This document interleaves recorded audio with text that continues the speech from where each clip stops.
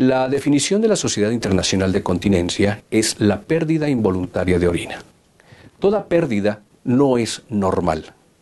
Tenemos que estar secos, no es normal ni cuando estamos chicos, ni cuando estamos a, mediana edad, ni cuando estamos viejos.